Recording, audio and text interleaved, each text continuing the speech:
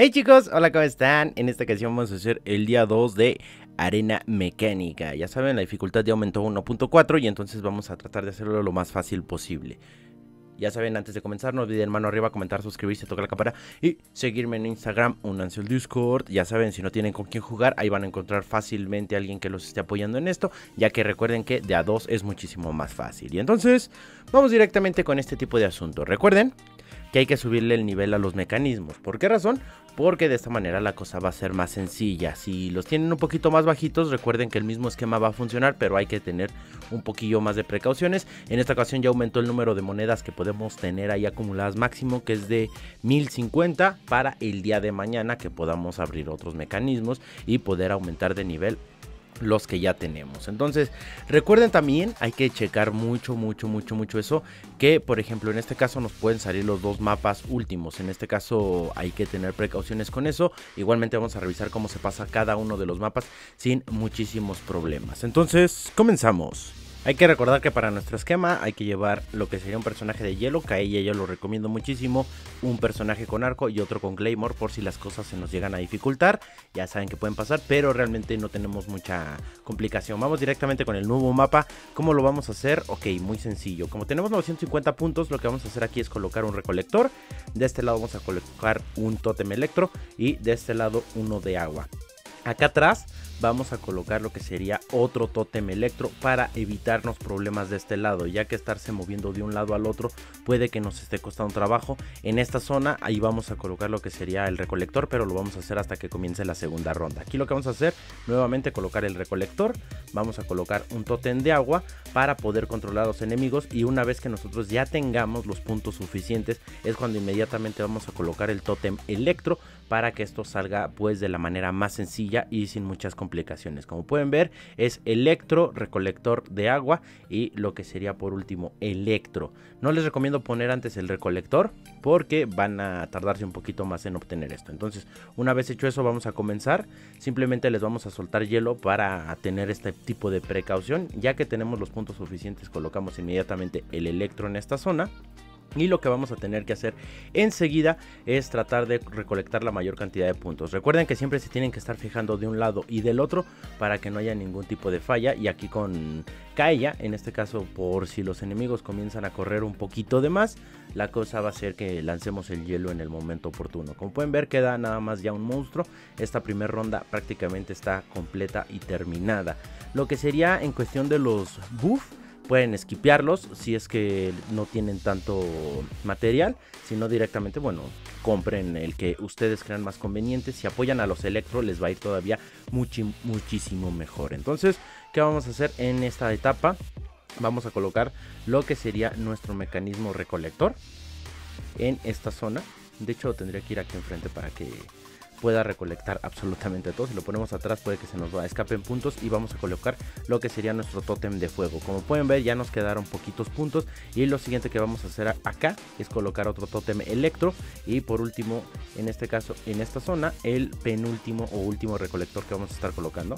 Entonces la cosa va a ser sencilla, simplemente ya saben estén precavidos, cuando nosotros podamos vamos a colocar nuestro tótem electro y como pueden ver ya nada más nos quedan dos huecos en la alineación que tenemos disponible. Entonces aquí los enemigos ya no tendrían que poder pasar, pero aún así hay que estar precavidos para que no nos vayan a pasar accidentes. ¿Qué vamos a hacer aquí?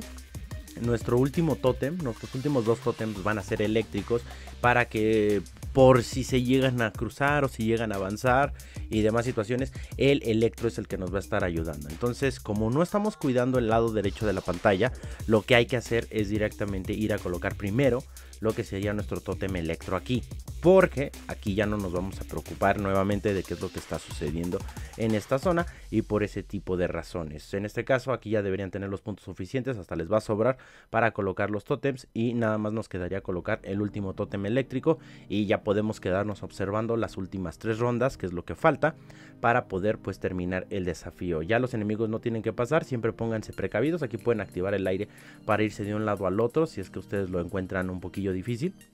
Pero yo en este caso lo vamos a utilizar para estar observando lo que sería el combate.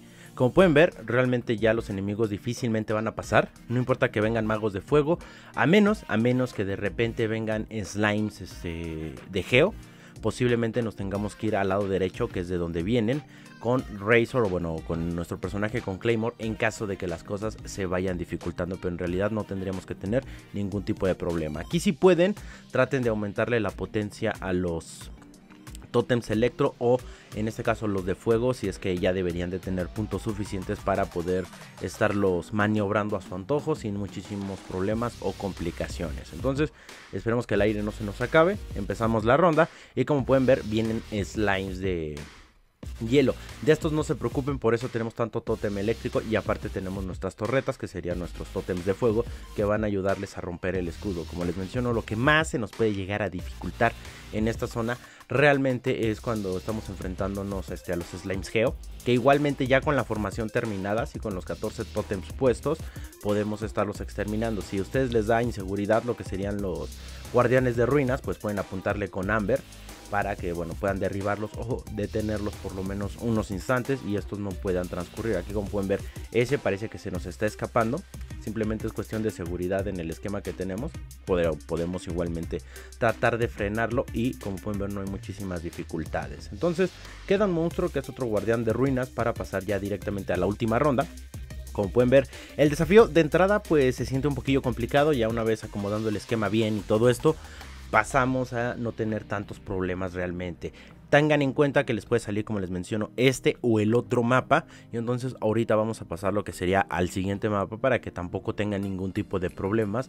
Porque ahí tenemos un poquito menos de puntos y hay que acomodar eh, diferente a como lo hicimos el día de ayer debido a la dificultad de esto. Entonces hay que checar nada más ese tipo de situaciones. Aquí gástense los puntos mágicos disponibles que tengan según los enemigos que les estén saliendo. Aquí simplemente hay que estar. Si tienen inseguridades, pues pueden meterle elemento a los enemigos, o sea, les pueden estar disparando y cosas así por el estilo, pero igualmente el sistema debería de funcionarles sin muchos problemas o complicaciones realmente. Son 10 monstruos los que van a pasar aquí. Y entonces ya nada más nos quedaría esperar a que termine esta ronda y tratar de sacar pues el máximo número de puntos posibles. Recordemos que estos van a variar según los enemigos que nos estén tocando. Ahí como pueden ver en la parte derecha nos están saliendo maguitos, pero ahí en la esquina se están muriendo. Y en el lado izquierdo los super perrotes, no me acuerdo cómo se llaman, pueden, realmente no prestan muchísimos problemas. De está el multiplicador y sale la misión. Para el mapa anterior, ya saben, hay que llevarnos a nuestro poderosísimo Kaija, un arquero igualmente y lo que sería a un personaje con Claymore. ¿Cómo vamos a acomodar el esquema? Como pueden ver tenemos 750 puntos y estos para bien lograrlos o bien utilizarlos vamos a colocar aquí justamente el recolector, aquí lo que sería un tótem de agua y en estas partes un tótem eléctrico y en esta parte de acá otro tótem eléctrico. Hay que tener cuenta que vamos a necesitar más recolectores, o sea, si pueden colocarlos estaría perfecto, pero de todas maneras con este esquema ya no deberían de sufrir muchísimos contratiempos al momento de estar jugando. Como pueden ver los enemigos se acercan y van pereciendo según van llegando los mismos. Entonces lo que vamos a hacer aquí también colocar si quieren de una vez o lo se pueden tardar en colocarlo lo que sería nuestro tótem de fuego para tratar de eliminar rápidamente a los personajes que traen escudos y de esta manera tratar de ya en esta zona detener cualquier embestida que se nos esté aproximando.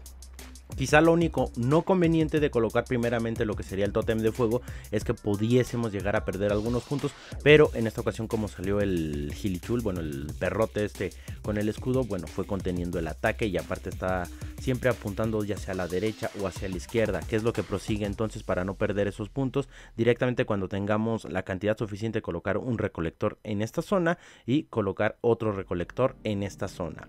De esta manera ya no vamos a perder ninguna clase de puntos ni ninguna cantidad y como pueden ver tenemos puntos necesarios para colocar incluso más totems, pero simplemente hay que verificarnos. Por ejemplo, si aquí dice otorga al instante 250 puntos mágicos, podemos seleccionarlo. Si no nos toca, no se preocupen, van a ser exactamente el mismo acomodo. Simplemente esperan a que se farmien un poco los mobs que están apareciendo. Y en este caso, vamos a colocar un tótem eléctrico de este lado y otro tótem eléctrico exactamente de este lado para terminar de amarrar la estrategia que estamos utilizando. Aquí pueden colocar lo que sería otro tótem de agua para que, bueno, por si vienen los que serían magos y aparte los podamos estar destruyendo y cosas así por el estilo. Y entonces lo colocamos un tótem de agua y del otro lado exactamente lo mismo. Lo único que les faltaría si no tuvieran esos 250 puntos sería este último tótem de agua porque el esquema ya está prácticamente terminado. Aquí lo que vamos a construir en la parte de atrás, digamos que es nuestro salvavidas o el último vestigio de esperanza en caso, en caso de que la estrategia así como está formada no esté avanzando según nosotros lo creamos disponible. De hecho, como pueden ver, ya nada más nos faltan tres artefactos para colocar donde nosotros querramos. Y entonces cuando lo tengamos, colocamos nuestro salvavidas, que sería aquí un recolector, porque siempre es importante tener la posibilidad de tener tótems, uno de agua y por último lo que sería uno eléctrico. Ya nada más nos quedaría observar cómo se desarrolla el combate. En caso de que le salga la última pieza, aquí pueden colocar lo que sería el último. Ya saben que de repente en los bonos nos viene que podemos colocar hasta 15 piezas y entonces ahí podrían colocar lo que sería otro eléctrico para que la cosa incluso se facilite muchísimo más. Pero si no no pasa absolutamente nada. Como pueden ver el desafío se va haciendo prácticamente solo. De hecho más nos estamos tardando por estar verificando cómo es la formación y ustedes no tengan problemas acá. Simplemente en los bonos hay que tratar de conseguir los bonos que beneficien a electro beneficien a la catapulta que sería el de fuego. Si es que nos sale de agua y no nos sale ni electro ni fuego pues es el, digamos que es la última opción que nos quedaría por seleccionar para que todo termine de funcionar sin ningún tipo de problemas. Aquí como pueden ver, los enemigos si bien estos magos puede que los estén espantando y demás, para eso está la catapulta, para terminar con esos escudos que puedan llegar a traer o no, e incluso los eléctricos van a hacer la vida más sencilla. No se preocupen si vienen slimes geo, igualmente por eso traemos al personaje con Claymore, para tratar de detenerlos máximamente hasta este esta parte central donde pueden complicarse. De igual forma no va a ser tan necesario dependiendo pues realmente cómo es que vengan sus torres. Por eso siempre es importante hacerlo y, e inmediatamente subir, subir, subir. De hecho no nos cuesta muchísimo hacer este tipo de tareas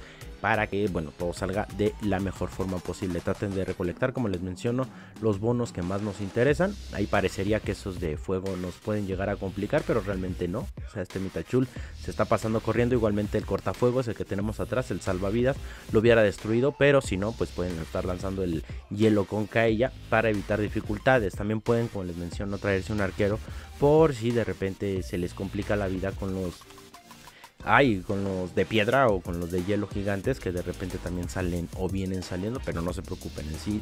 El esquema según los enemigos que están, yo ya lo probé muchísimas veces, ya me di muchísimas vueltas, de hecho me las tuve que dar para que me salieran pues los dos mapas, porque en este caso no siempre salen, o sea, puede que nos estanquemos en este o puede que nos estanquemos en el otro. Realmente lo único que cambia es de repente el bonus que podemos obtener. En el otro mapa es donde podemos obtener, pues a mi percepción, un poquillo más de puntos, ahí he llegado hasta 700 puntos en una sola sola ronda. Pero en este caso en este mapa normalmente 600, 600 y cacho. Ya nada más nos queda comenzar lo que sería la última ronda, no sin antes verificar si hay un bono que nos convenga. Por ejemplo, vienen los Laguachul, lo que les menciono, los grandotes, el de hielo y el de piedra, que puede que de repente a vista se nos estén complicando, o sea, puede que digas, no manches, es que estos van a llegar a donde no quiero que lleguen, pero no se preocupen, para eso traemos el tótem de fuego para terminar de exterminar a ese tipo de enemigos que al principio parece que se nos van a complicar, pero como pueden ver realmente no es que puedan avanzar o tengan mucha oportunidad de avanzar muchísimo a través del mapa. Realmente este modo de juego, siendo francos, me, me, entretiene muchísimo. Siempre me ha gustado jugar este tipo de videojuegos de Tower Defense. Es donde te quedas 5 minutos y quizá lo único malo que honestamente yo le veo es este que no podemos aumentar mucho la dificultad de momento o que no lo van a terminar quitando. Y listo chicos, ya nada más que queda que cobren todas sus recompensas para que terminen de completar el desafío y esperar al día de mañana donde la dificultad va a aumentar muchísimo más y esperemos se ponga todavía más entretenido. Entonces creo que de momento ya saben, mano arriba, comentar, suscribirse, tocar la campana y seguirme en Instagram. Únanse al Discord. Nos vemos para la próxima. Chau, chau, chau, chau. Los guardianes del universo al triunfar el mal. Sin dudarlo salen a combatir por un mundo ideal. Caballeros del zodiaco, cuando lanzan sus ataques,